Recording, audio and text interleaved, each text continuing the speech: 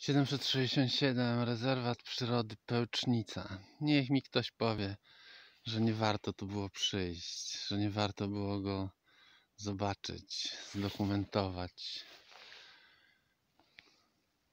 odliczyć go sobie. Dojrzewające bazie już rozsypują nasiona. Czasami to całe chmury latających nasion.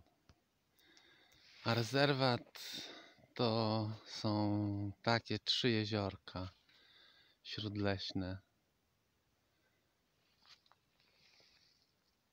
I ja stoję przy tym, do którego dojście jest no z małą plażą, ławeczką, łatwe. Dwa pozostałe trochę trudniej jest odwiedzić, ale też są ścieżki, które pozwalają przejść nawet dookoła całą pętlę między tymi, a właściwie dookoła tych jezior. Czasami jakaś tablica informacyjna pomoże spędzić jeszcze czas interesująco. Ale komu to potrzebne, jak są takie widoki? Te sosny nad jeziorem.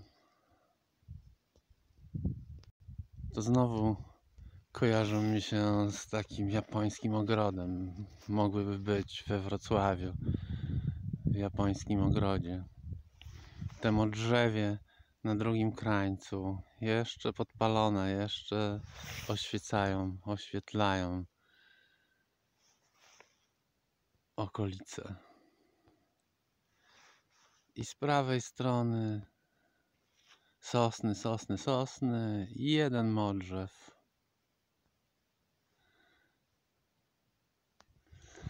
Żeby złamać, żeby przełamać tą perspektywę, ale dalej już jest mieszanka zielono-złota teraz.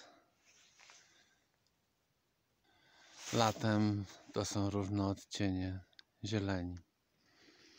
No i ten fragment bagienny z brzozami, sosną karłowatą i pałka wodna. A te sitowia super. Chce się wracać?